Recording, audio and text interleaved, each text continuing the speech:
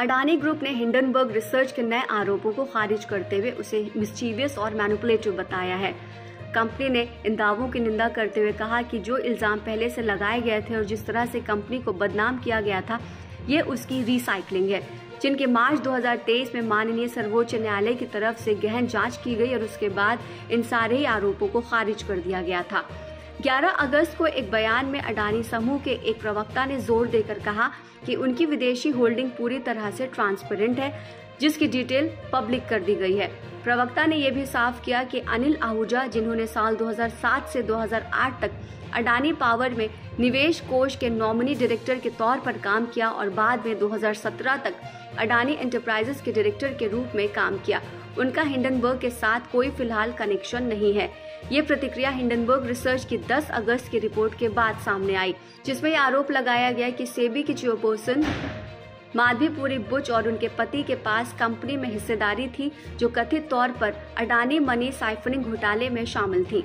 Report में दावा किया गया है कि बरमुडा और मॉरिशस में स्थित इन फंडों को गौतम अडानी के बड़े भाई विनोद अडानी देखते हैं और इसका इस्तेमाल फंड में हेर फेर करने और स्टॉक की कीमतें बढ़ाने के लिए करते हैं। इन आरोपों के जवाब में माधीपुरी बुच और उनके पति धवल बुच ने ज्वाइंट स्टेटमेंट देते हुए कहा कि ये सारे उन पर इल्ज़ाम लगाए गए हैं। उन्होंने साफ़ तौर से इन इल्जामों से अपना पल्ला झाड़ लिया। और ये भी कहा कि हिंडनबर्ग रिपोर्ट में जिस फंड की बात कही गई है, उसमें हमारा कोई हिडन शेयर नहीं है। आपको बताते चले कि Hindenburg research US based investor activist firm है, जिसको साल 2017 में नॉर्थन एंडरसन ने शुरू किया था। कुछ रिसर्चर्स की मदद से हिंडनबर्ग ज़्यादातर हाई प्रोफ़ाइल कंपनियों को टारगेट करती है और उनमें अकाउंट से जुड़ी अनियमितताओं और कई कॉरपोरेट गवर्नेंस से जुड़े मुद्दों का पता लगाने के लिए फाइनेंशियल फॉरेंसिक टूल्स का इस्तेमाल करती है।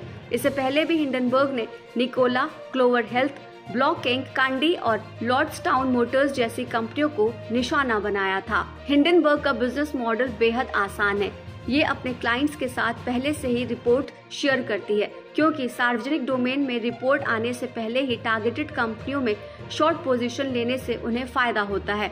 इन कंपनियों से जुड़ी जैसी ही रिपोर्ट पब्लिश होती है तो ज़ाहिर सी बात है कि उनके शेयरों में भारी गिरावट आएगी, और इस गिरावट का हिंडनबर्ग कंपनी पूरी तरह से फ़ायदा उठाती है, और इसके बाद हिंडनबर्ग और उसके क्लाइंट्स दोनों को ही फाइनेंशियल लाभ होता है।